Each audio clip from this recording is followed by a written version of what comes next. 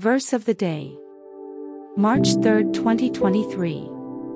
Now to him who is able to do immeasurably more than all we ask or imagine, according to his power that is at work within us, to him be glory in the church and in Christ Jesus throughout all generations, forever and ever. Amen.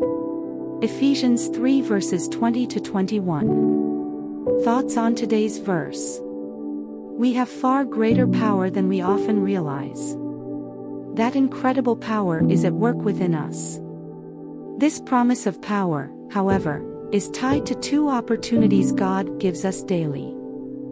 First, it is based on actively asking for God to do great things based upon a wholly charged imagination. Second, it is based on our living to bring God glory. So let's ask, imagine, and give God glory, then let's praise Him for doing far greater things than what we ask or even imagine. Prayer Dear Father in heaven, forgive me for my pedestrian dreams, my selfish prayers, and my short sighted goals. Awaken my heart to your will and open my eyes to your plans by the power of your Holy Spirit.